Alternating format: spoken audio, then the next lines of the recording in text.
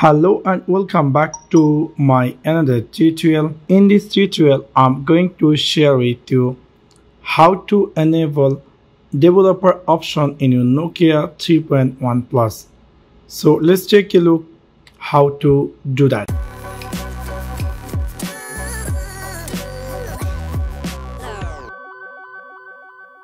In order to do that you need to go on your device scroll down like this. You need to go in device settings section after click on settings section, scroll all the way down and you will find here about phone.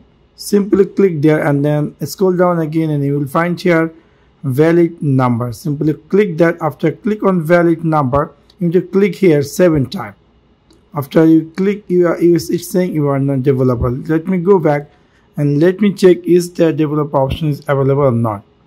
I'm going to my device system and then I'm to click here advanced I will see now it's appear developer option which was previously not appear. So in this way you can easily enable developer option in your Nokia 3.1 Plus. So that's for now. Thanks for watching my video. See you next one. Peace.